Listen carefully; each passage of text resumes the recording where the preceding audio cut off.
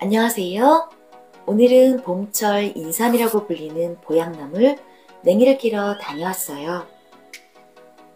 채소 중에서 단백질 함량이 가장 높고 각종 비타민과 무기질이 많아서 춘곤증을 극복하는데 큰 도움이 되는 향긋한 냉이 캐러 함께 가보실래요?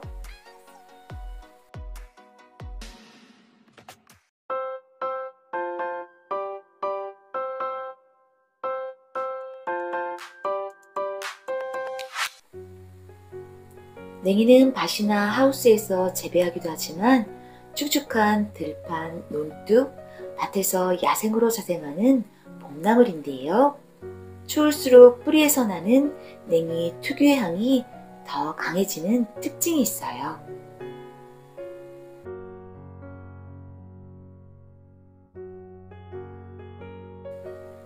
번식력이 강해서 흔하게 볼 수 있는 봄나물이지만 대로변, 공원, 강변 주변에서 채취한 냉이에는 중금속이 포함되어 있을 수 있으니까 채취 시 주의해 주세요.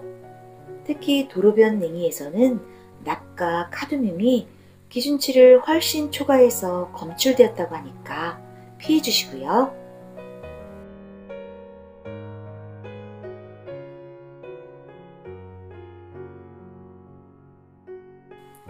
감기 몸살에 걸렸을 때 해열제로 소화불량일 때에는 소화 흡수를 촉진하는 건의제로 이용되는 냉이의 한약제명은 제체로 꽃이 필 때 채취해서 그늘에 말려서 사용하는데요.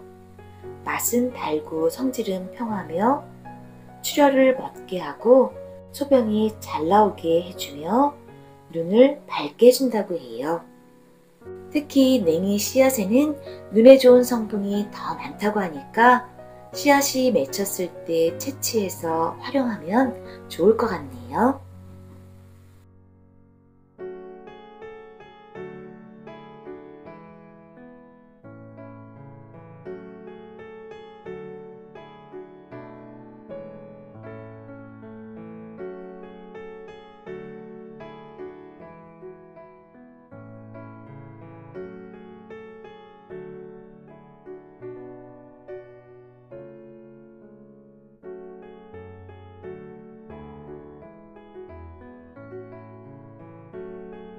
냉이는 단백질과 비타민, 무기질이 풍부한 알카리성 나물로 비타민 A, B1, C가 풍부해서 원기를 돋구고 피로회복, 춘곤증에 큰 도움이 돼요.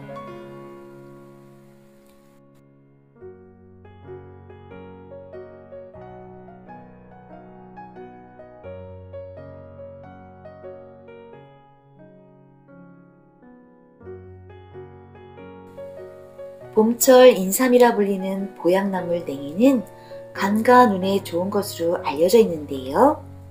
동의보감에는 냉이로 국을 끓여 먹으면 피를 간에 운반해주고 눈을 맑게 해준다고 기록되어 있어요.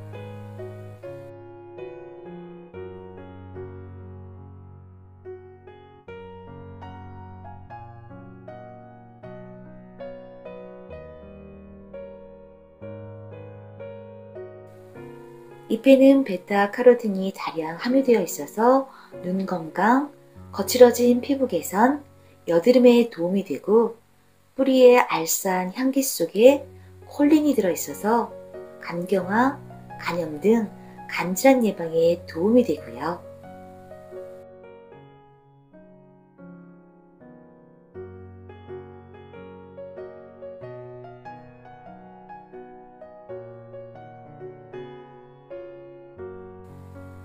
냉이 뿌리를 다듬는 것이 어려워서 잎만 드시는 분들도 간혹 계시는데요.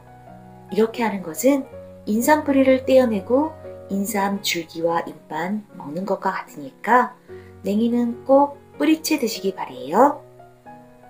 주의할 점은 냉이는 자궁 수축작용이 있으니까 임산부께서는 주의해 주세요.